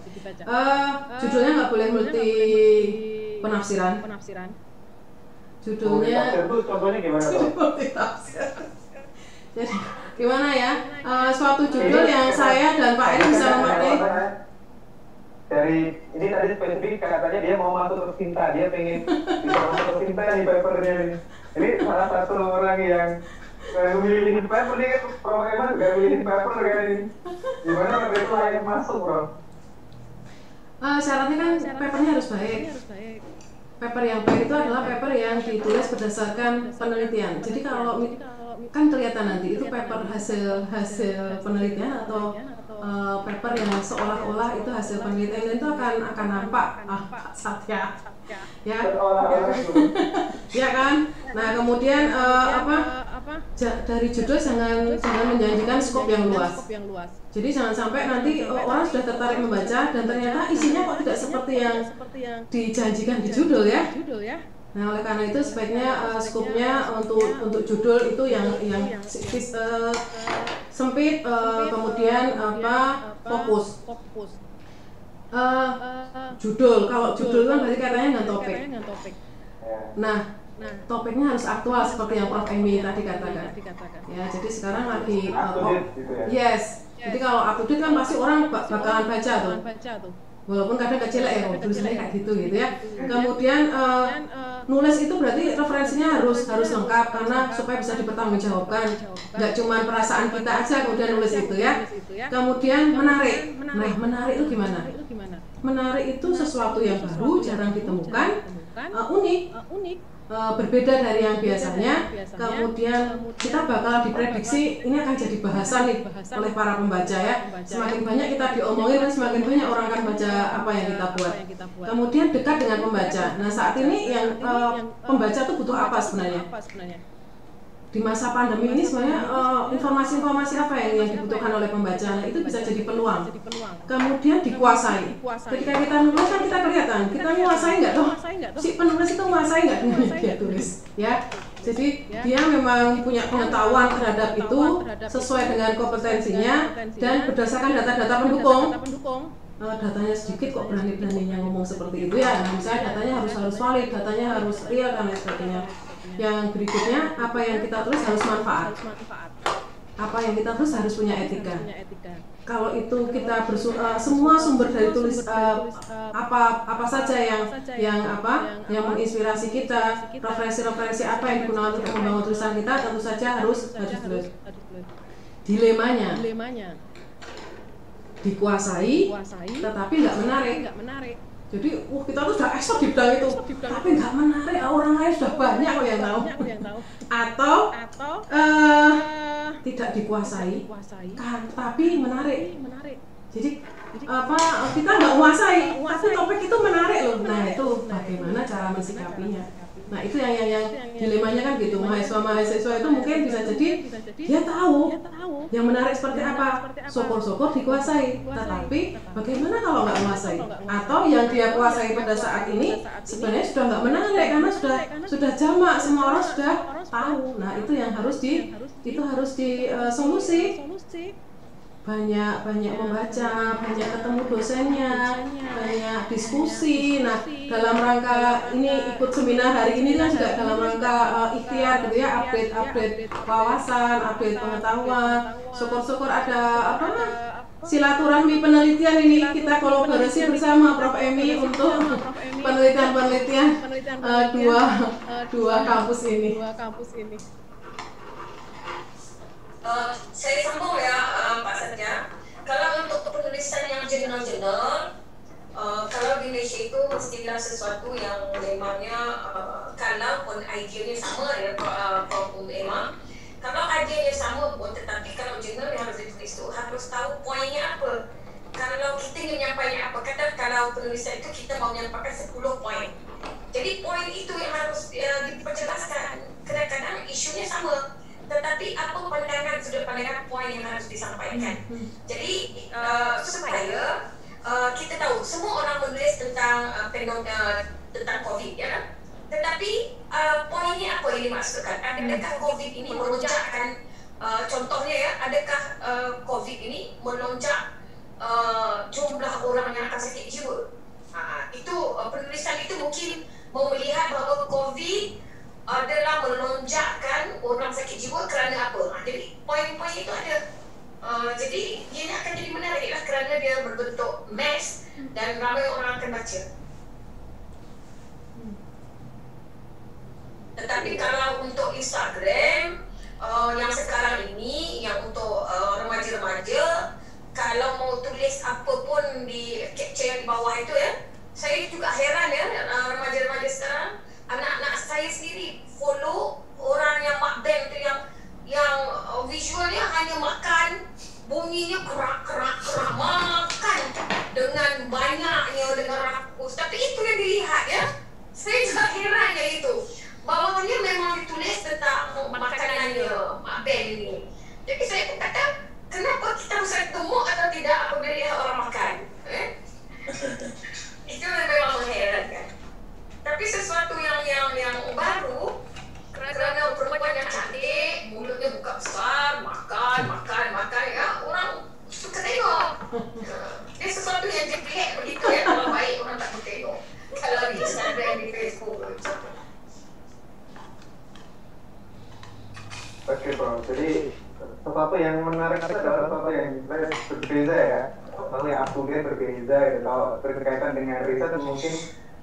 panjang kalau dijelaskan state of the art-nya waduh Yes. jadi ini bimbingan legacy SD dan setelah ini ya. Mungkin kita akan lagi jalan setelah ini lagi. Oke ada pertanyaan selanjutnya yaitu berkaitan dengan kalau kita mau melamar pekerjaan. Ketika kita tadi kan bisa terlihat dari sosial media ketika kita melamar pekerjaan apa kalau kita sedang menghapus eh, postingan-postingan yang jelek atau yang yang yang apa yang tidak bagus tentang kita sudah aman ketika kita kita melamar pekerjaan. Atau masih tidak jelas seperti itu. Mungkin Prof. Ini bisa menambahkan. Eh, saya kurang arif apabila posting-posting itu kalau kita sudah diri masih ada lagi atau tidak. Tetapi aku yang teman-teman saya maklum di mana yang memang cerdik eh, internet yang yang cerdik tentang eh, website saya ini eh, dia tidak habis ya masih ada lagi. kalau uh, yang pandai itu mencari balik semua ni masih ada. okay? Uh, dan uh, memang uh, seluruh dunia sekarang ini apabila memohon pekerjaan uh, data pribadi itu memang kita akan cari kita akan lihat di, Instagram uh, itu uh, di Facebook. Kita mau lihat sikap ni bagaimana uh, pelajar ini atau calon pekerja ini? Bersikap terhadap masyarakat. Bersikap terhadap kerja kita kadang-kadang tengok uh, pelajar itu uh, se- seperti dia ni memberi uh, cek makan misalnya. Satu video yang dia upload dia beri cek makan. Jadi di situ kita boleh andaikan bahawa uh, calon pekerja ini adalah seseorang yang sangat empathy dan halim dan dia mungkin menjadi uh, dia mungkin menjadi pekerja yang akan uh, Apa? sangat perhatian dengan uh, Ya, ya. yang lain. Ada beberapa program mengcapture ini secara umum di dalam video ataupun gambar ataupun tulisan di selalunya kepada yang pernah dosen ini pekerja dengan Di di hard kita disk,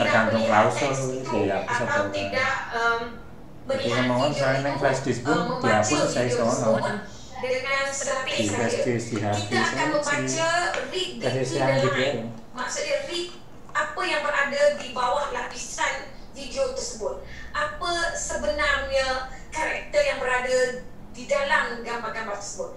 Jadi kita ini membaca bukan visual itu. Kita membaca apa makna uh, picturization makna picturization itu di dalam uh, gambar tersebut. Uh, itu yang kena berhati-hati kerana uh, uh, video gambar uh, sikap kita semuanya memberi makna. Kita bukan uh, hanya gambar itu saja mungkin uh, anak-anak pelajar-pelajar semua hanya kata oh saya hanya ambil gambar saya memakai uh, seluar pendek atau baju tidak lengan tetapi makna di sebaliknya ialah uh, dia ada makna-makna yang lain. Jadi ini yang kena careful jika sudah padam bagus uh, uh, yang uh, uh, yang mencari pekerja ni dosen-dosen pun uh, katalah saya mencari pekerja kita tidak ada masa yang banyak untuk korek uh, dan diri ke tidak ke kita tidak.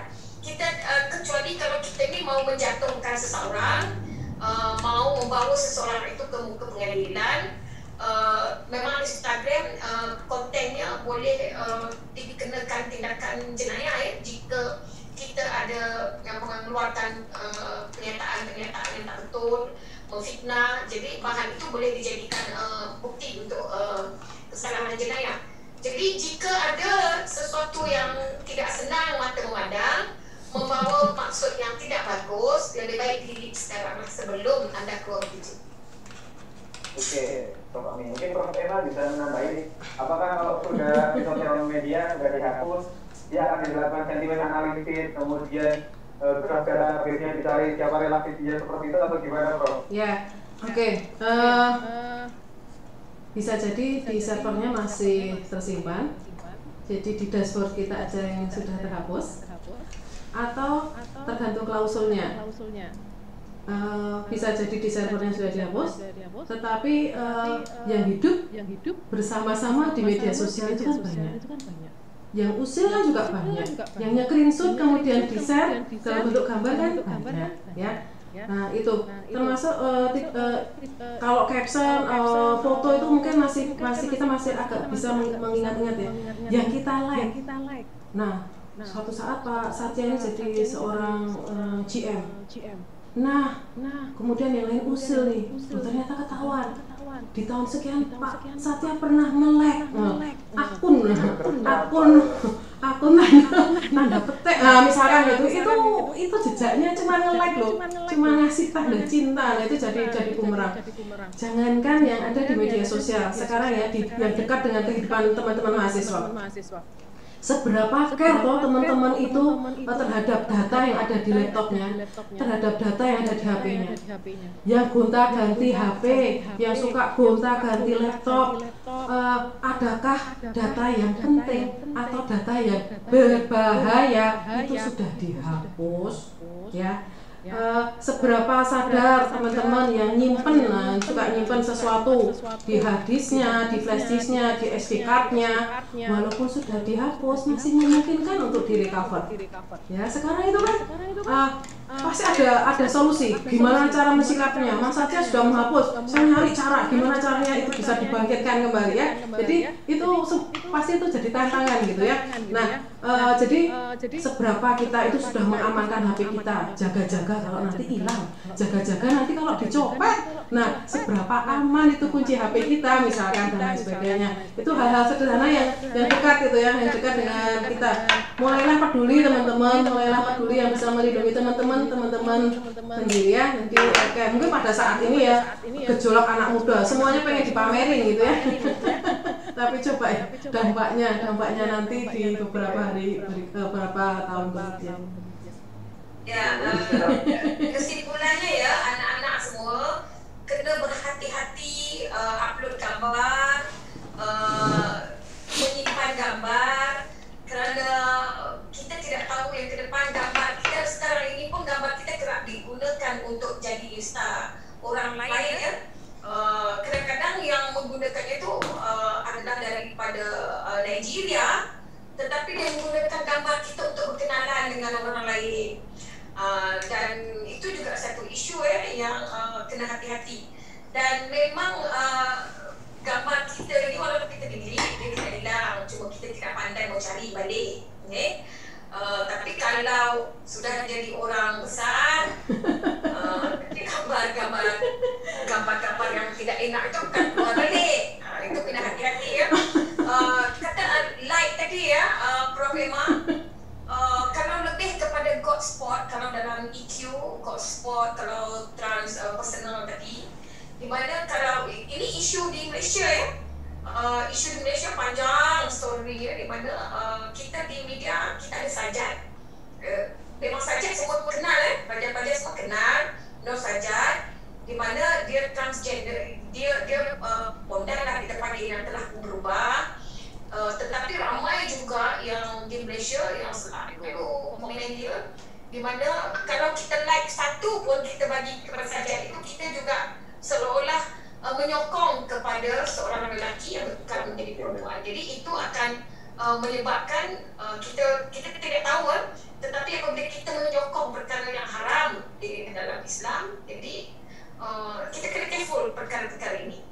Okay? okay? Jangan nampak teman uh, uh, teman tu minum arak terus like. Teman itu betulkan cantiknya like. Teman yang itu uh, bercanda lebih-lebihan like bokep live. Oh, kamu share itu sama dia tadi. Nah, kena careful. Oke. Sama ini Bang Satya, saya punya pengalaman dan ini mungkin bisa jadi bentuk kehati-hatian untuk teman-teman mahasiswa ya. Nah, beberapa waktu yang lalu saya dapat WA dari nomor yang tidak saya kenal.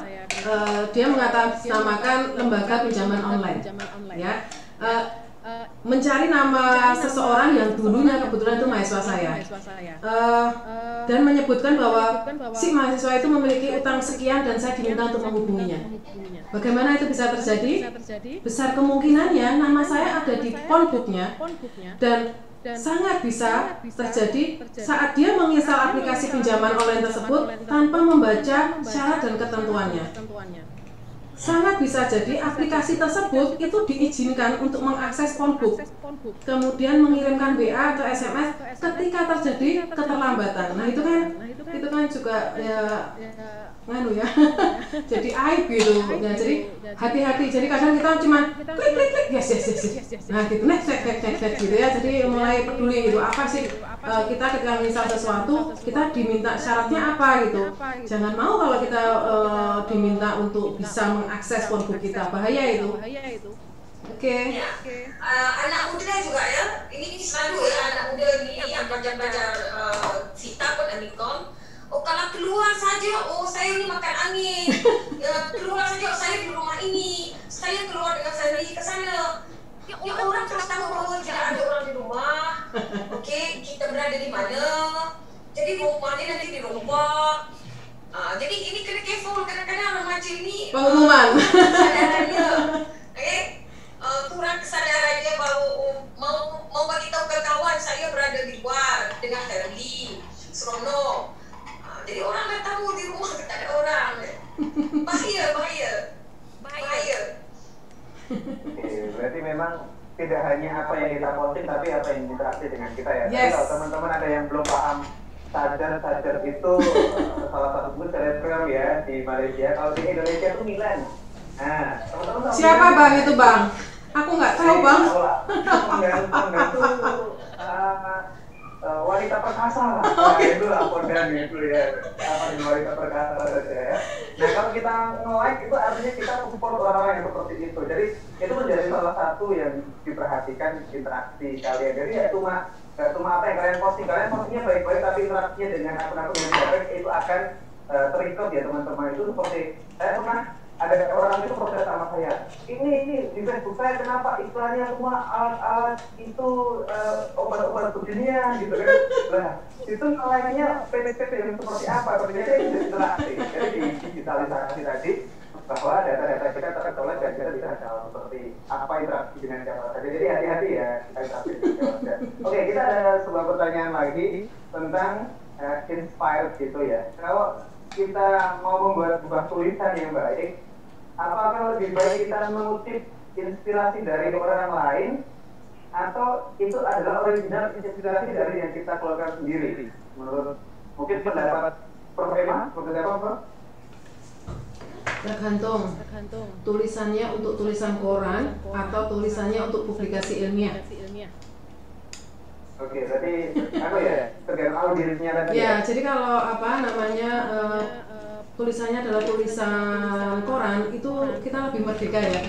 Apa semuanya bisa murni dari kita. Ya karena tulisan itu eh, tidak dari suatu penelitian yang mendalam gitu ya. Tetapi ap- kita lihat fenomena yang terjadi di lapangan dihubungkan dengan keilmuan kita. Kemudian kalau saya di- dihubungkan dengan ayat-ayat suci. Nah tiga rangkaian itu. Tetapi kalau kita menulisnya dalam eh, kajian ilmiah tentu saja harus eh, penelitian yang baik itu adalah penelitian yang merupakan perbaikan terhadap hasil penelitian sebelumnya. Karena penelitian yang baik itu adalah penelitian yang seperti itu, maka kita memang mau nggak mau harus banyak membaca. Kita harus uh, kita harus mau nggak mau semakin banyak referensi yang digunakan untuk membangun tulisan kita. Kalau itu adalah tulisan ilmiah. Dulu saya mengalami kesulitan ketika saya ditantang Bang Erik nulis artikel koran. Karena saya terbiasa nulis ilmiah, ketika saya nulis di artikel koran, Bang Erik bilang gini, "E, Kak, yang ringan-ringan aja Kak, yang ngepop gitu. Nah itu sama Bang Erik bolak-balik tulisan saya. Jadi awalnya saya nulis artikel koran itu ada citasinya Pak Satya. Jadi oh ada daftar referensinya enggak gitu kak gitu nah itu itu itu proses jadi saya terbiasa serius gitu jadi kita luar biasa. ya saya kira Bisa bisa populer bisa. Luar biasa. ya tapi itu adaptasi dan itu lebih ke arah menambahkan ilmu baru. Ya, ya. Di koran tadi lebih ke inspirasi ide J ya ya ya sharing ilmu saya sharing teman-teman sekalian itu mohon follow Instagram Instagram inspiratif Instagramnya Instagramnya Prof Ami ya, Instagramnya Prof Karpan. Iya, oke lah, ada Instagram hiburan yang kita like ya. Kadang-kadang ini, Ujik Satya, saya, saya kasih satu quote ya. Orang, itu siapa? Itu kan lihat aja temannya siapa. Udah, kalau kita temennya ada di Instagram kita, Prof. Emma, Prof. Kami, dan Prof. Razak, itu sudah orang udah tahu, oh kamu dari sisi kenalanmu, kamu masih punya sisi ilmiah. Jadi, Sebenarnya tahu ya. sisi, sisi cerdas gitu, maksudnya di sisi Sisi- Sisi senior menurut Prof. Emi tadi kan kami udah senior. Oke oke kok gitu karena nggak bisa dipungkiri kita siapa ya teman. Jadi kalau mau gampang gitu aja. Nah itu termasuk di profil bang. Jadi eh, kita bisa memprofil Bang Satya itu dari apa yang suka jadi, di jadi nggak apa-apa kita ikuti yang uh, pop, kita ngikuti yang now, tapi kita harus punya sisi. Memang kita harus melihat ya this is the gitu. Jadi harus ada eh, memang pembelajaran harus harus ada. Oke, baik-baik. Terima kasih. Prof. Ami, mungkin kalau pendapat Prof. Ami seperti apa? Apakah kita menulis itu harus inspire itu harus dari kita sendiri atau kita boleh inspire dari quote orang lain yang lebih baik yang mana Pak Bos? Uh, saya bagi contoh uh, dalam satu kejadian uh, banjir misalnya uh, saya, menulis tentang kejadian banjir tersebut punca-punca dia kesan dia uh, dan apa yang terjadi dan uh, pada pada banjir tersebut. sekiranya saya mengambil daripada orang lain ia tidak akan detail saya mengalami sendiri. kalau saya mengalami sendiri banjir tersebut uh, ada satu kelainan yang mungkin saya akan katakan bahawa uh, banjir tersebut uh, mungkin uh, kotornya uh, apa yang ada di dalam air tersebut baunya. Mungkin detailing itu adalah lebih bagus kalau kita mengambil daripada orang lain. Kalau mengambil daripada orang lain bacaannya kini banyak. Kalau uh, kita sendiri yang mengalami uh, bacaan juga kena ada secara akademiknya tetapi penulisannya akan lebih mendalam lebih lebih lebih inspire orang lain untuk membaca.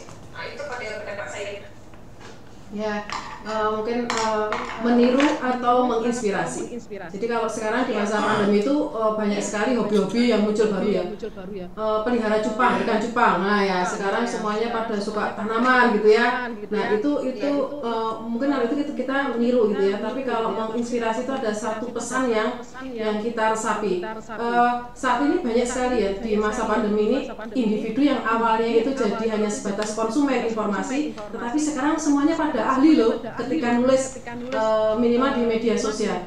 Nah, sebenarnya kalau ditanya satu-satu nih teman-teman mahasiswa, eh, sebenarnya ngapain toh nulis gitu?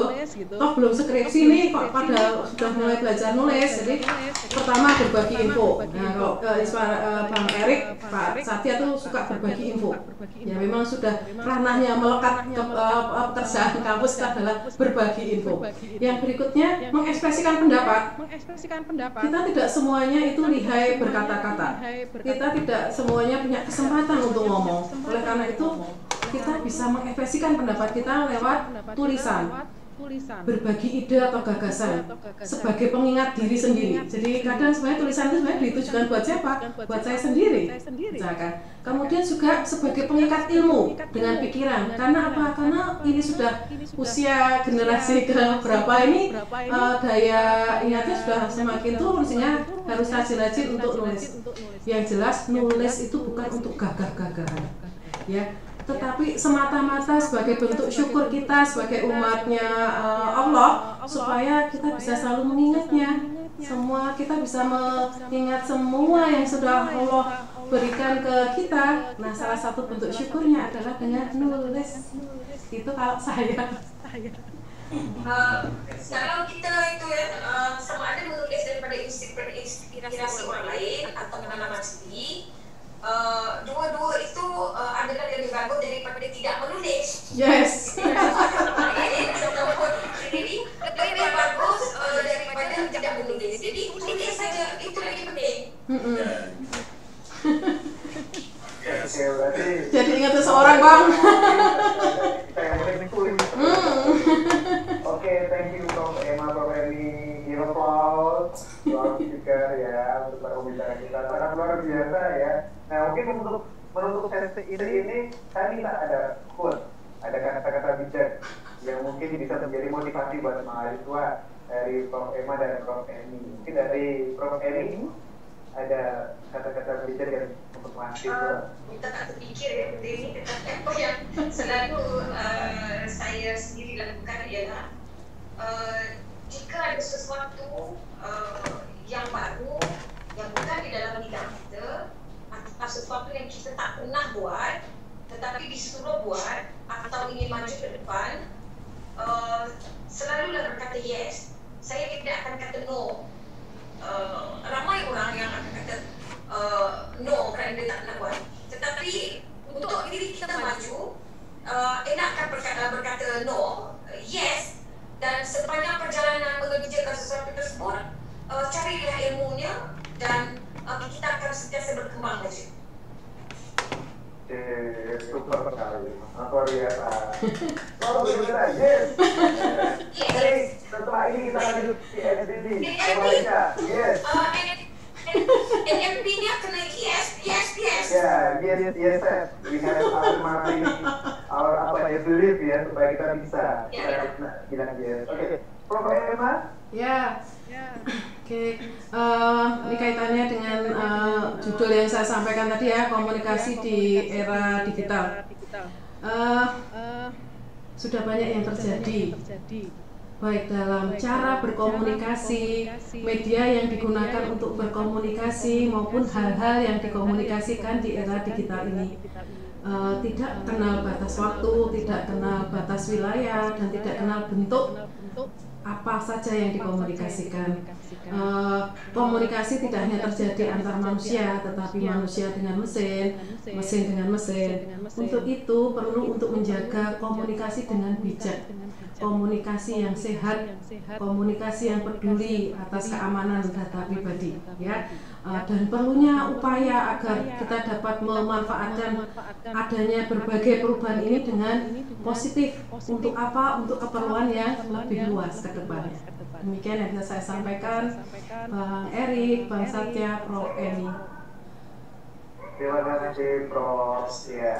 Karena era komunikasi sekarang adalah era yang tanpa batas wilayah, maka kita berkomunikasi dengan bijak. Terima kasih.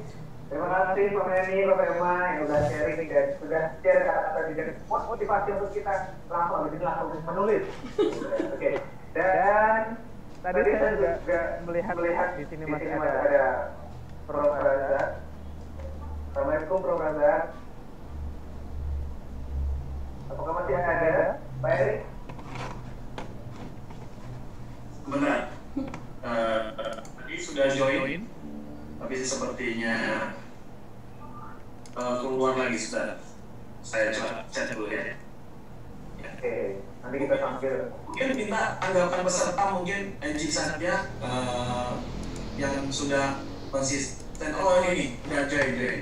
Mungkin satu peserta yang di Jadi teman-teman bisa kasih tanggapan bagaimana tentang kegiatan ini ya sudah dari pertemuan pertama penugasan dan sampai pertemuan terakhir ini bagaimana tanggapan teman-teman ya mungkin teman-teman bisa present siapa tahu setelah present ngomong terus nanti sertifikatnya langsung otomatis ah siapa tahu ya silakan teman-teman bisa raise hand satu orang mungkin satu orang ya satu orang oh satu orang tuh udah Jadi Pak Faisal sudah standby. Ini ini ini ini, ini. Willikson, Willikson mungkin Willikson.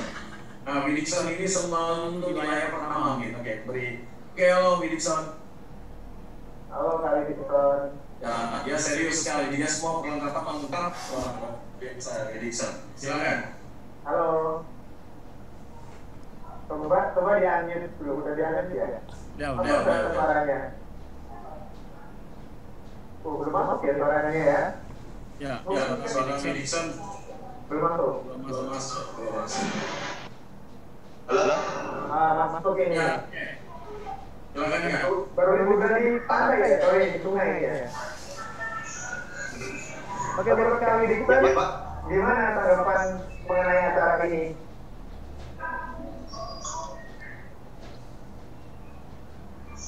Hmm, gimana? Kalau acara ini, halo, halo. Ya, ya. Berapa soal, Pak? Halo. Acara ini bagi saya sih bagus, Pak.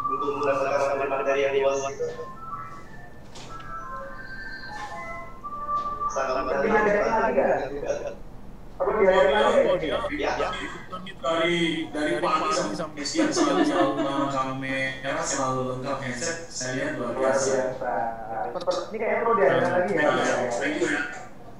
Nanti ya, ya. nanti cari lagi di cari lagi di fakulti yang lain mungkin ya, ya, ya. Dan dan C1 C saja oke kita sudah sudah masuk Oke, Prof. Raza, Assalamualaikum.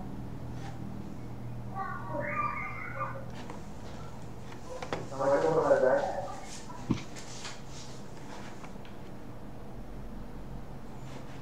Di rumah perasaan. Oh, sudah langsung notice sih. Assalamualaikum. Oh, baru dipersiapkan dulu nih Pak ya ini. Mungkin dari perwakilan Yang mahasiswi, yang Eri, mahasiswi. ada yang disampaikan sebagai closing kita kali ini. Belum ada yang menyampaikan siapa ya yang menyampaikan dari Prof. Erik, Prof. Erik dulu.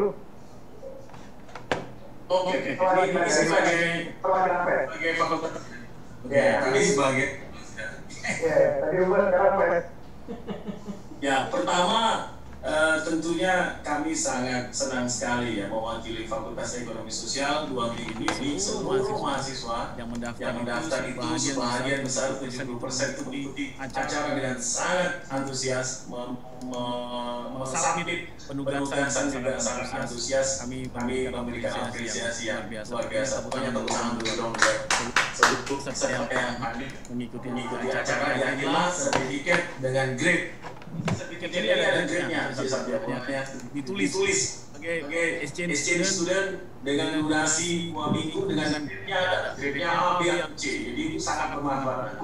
Itu. Yang kedua terima kasih tentunya kepada rektor Universitas Amikom Prof. Suyono yang menyetujui dan mensupport acara ini bersama Pak Dr. Arief Sutianto tempat bidang kerjasama semua yang yang yang kedua tentunya dekan kita UITM Prof. Danto Haji Muhaidin Muhaidin yang memberikan support sehingga acara ini eh, bisa berjalan dengan lancar tanpa dukungan Prof. Raza tentunya tidak berlangsung secara jelas yang kita rasakan pada hari ini.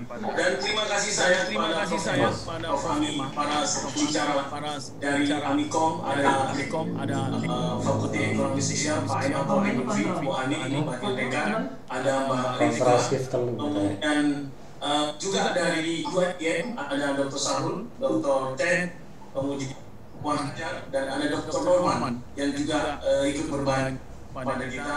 Tentunya ini menjadi langkah awal kerjasama kita, walaupun secara online tapi sangat inspiratif. Bahkan peserta tetap mengikuti eh, quote inspirasi dari para eh, pembicara-pembicara kita. Itu itu kami mau baik terima kasih dan mohon bantuan dan perkenan dari Dekan Vita UITM Profesor Dr. Anazah Muhaidin untuk bisa menutup kegiatan VISA 2020 kita pada siang hari ini. Terima kasih Haji Satya, terima kasih Prof. Emma, Kak, thank you pada uh, Prof. Ami, terima kasih sekali sudah berbagi. Bila itu hidayah, Assalamualaikum warahmatullahi wabarakatuh.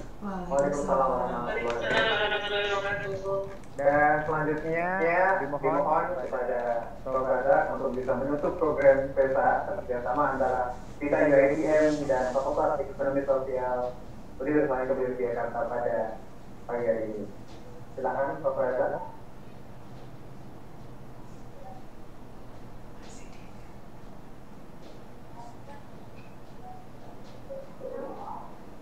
Boleh, boleh dengar saya?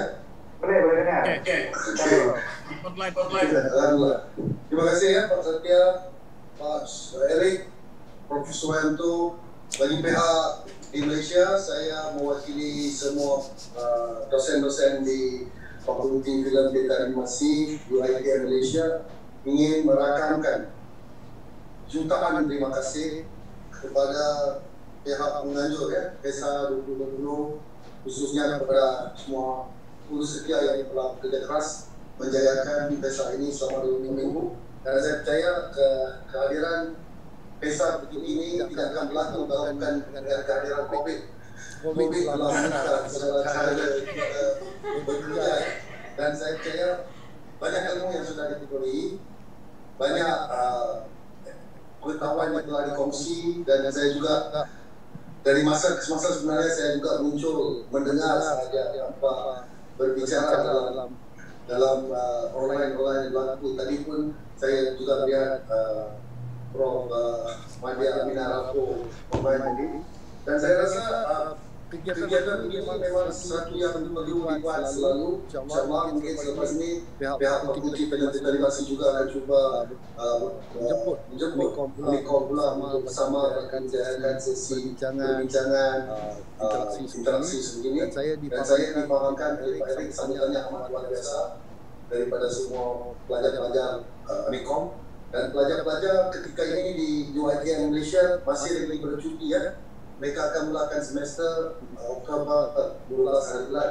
Mungkin selepas itu kita boleh bincangkan bagaimana cara yang kita bekerjasama lagi. Dan saya juga sebagai visiting professor untuk Amikom percaya bahawa uh, kegiatan begini perlu diteruskan dan, dan kalau sekiranya seperti biasa sebutkan COVID sudah tiada, insyaAllah saya sendiri akan hadir ke Amikom nanti mungkin sebelum Ramadan untuk berjumpa secara terbuka dengan pelajar-pelajar. Saya begitu gembira dengan uh, kerjasama yang telah lama wujud ini. Dan saya sudah lima tahun kerjasama antara kita dan Amikom dan kita maukan keutuhan ini berterusan.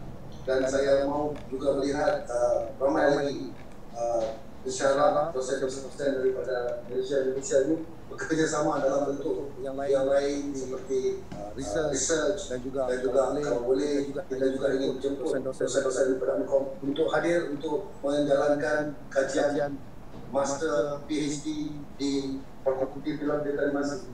Kita juga sedang dalam perancangan ya di Malaysia di dua untuk menggabungkan Fakulti Film dan Animasi, Fakulti Art and Design dan Fakulti Musik. Yang akan berlaku November nanti kalau ini uh, menjadi kenyataan, maknanya di UITM kita akan memiliki 250 dosen yang berpengalaman, berpengetahuan dan berkelayakan master dan PhD yang lebih besar dan bidang dan kreatif industri ini juga dapat dilihat dari banyak aspek yang lain itu akan membantu lagi untuk masa akan datang.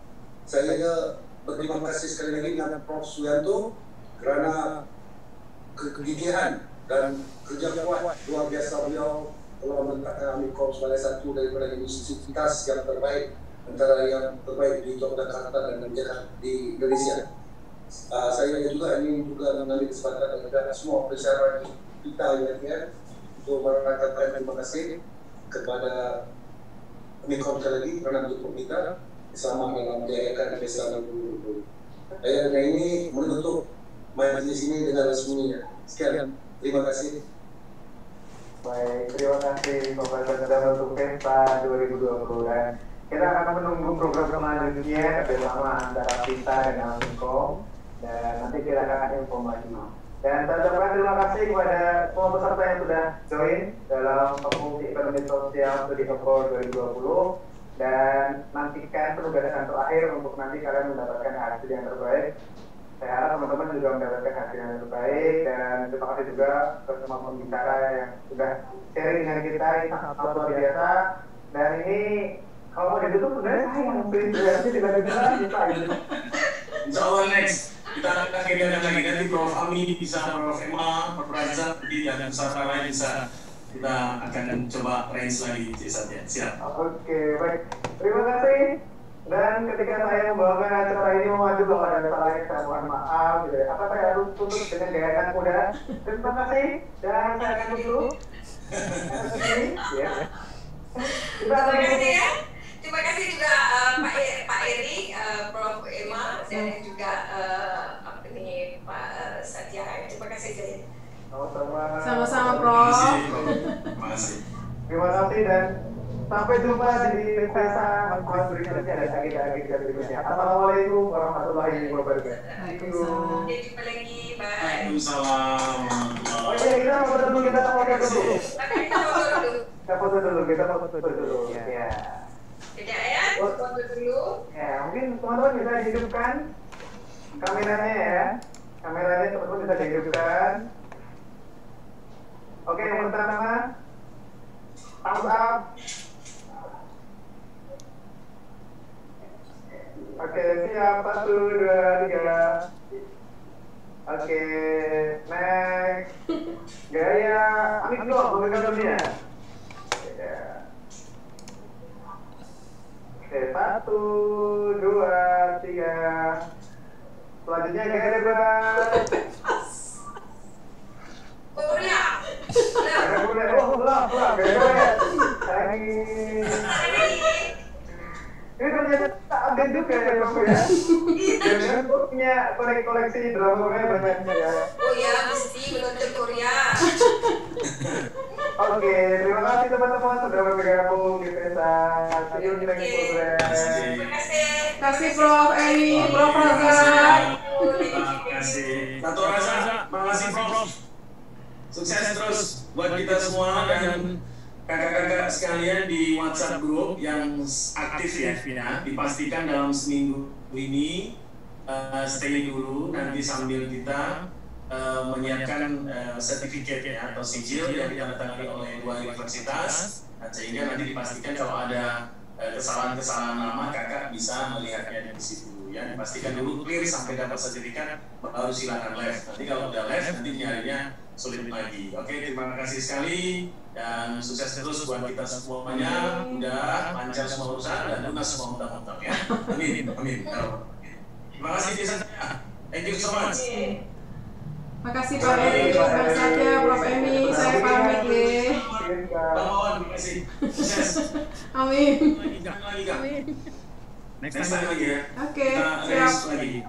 Sama Jangan kapok teman-teman ya. mungkin Oktober kita mau range untuk yang fakultas hitung komputer kak Oke. kita masukkan lagi salah satu insya Allah. ya Teman-teman mudah-mudahan bermanfaat tadi ya, jangan kapok. J. Materinya saya share ke materinya saya share ke Bang Satya. Luar biasa. Boleh, boleh. Oke, ya. ya boleh Boleh. Siap. Saya pamit ya. Assalamualaikum. dan saya juga apa-apa ya Makasih mohon sekalian ya, izin pamit C Satya. Assalamualaikum. Waalaikumsalam. Terima kasih. Thank you, J. Thank you.